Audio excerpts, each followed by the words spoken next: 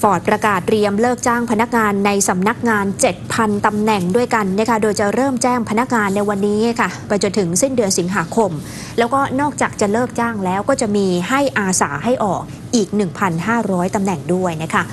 โดยฟอร์ดบอกว่าการลดจำนวนพนักงานในครั้งนี้จะเป็นความพยายามในการลดขั้นตอนการทำงาน ลดต้นทุนการผลิต คาดว่าจะประหยัดไปได้ปีละประมาณ 600 ล้านเหรียญหรือว่าราว 19,100 ล้านบาท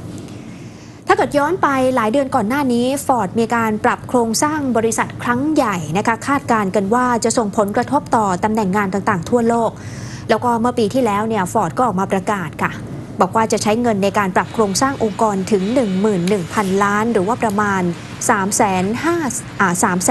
0ล้านบาท เพื่อที่จะเพิ่มยอดขายทั่วโลก แล้วก็จะให้ความสนใจกับรถยนต์พลังงานไฟฟ้า แล้วก็รถยนต์ไร้คนขับมากขึ้น เพราะว่ายุคสมัยมันเปลี่ยนไปแล้วนะคะ ฟอร์ดเป็นอุตสาหกรรมรถยนต์ที่กำลังเผชิญความกดดันให้เตรียมตัวรับกับอนาคตเทคโนโลยีใหม่ๆ แล้วก็ขณะนี้มีการวางแผน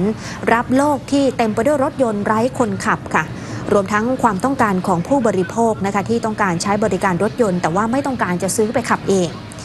เดือนพฤศจิกายนที่ผ่านมา General Motors ซึ่งเป็นอีกหนึ่งผู้ผลิตรถยนต์รายใหญ่ของสหรัฐ